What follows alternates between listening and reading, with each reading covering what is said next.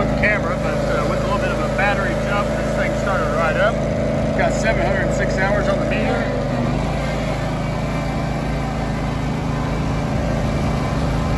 Seems to run and drive just fine. Let's test out the PTO clutch.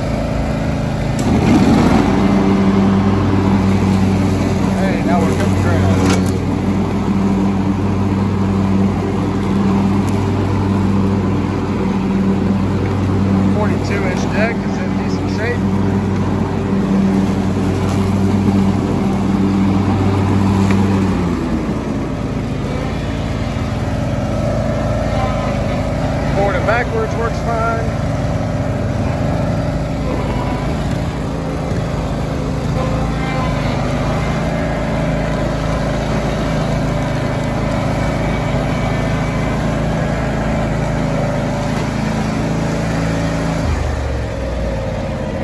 Engine idle's good. 706 hours on the Kawasaki engine.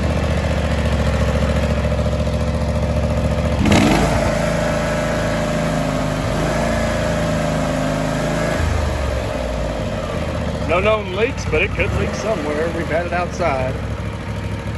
We'll be listing parts off of this John Deere X300 for sale on our eBay storefront. If you have any questions or if there's a specific part that you need, the reason we're parting this out is just because the hood hood assembly costs so much and the seat assembly seat needs replaced too. So uh, that's why we're parting this machine out.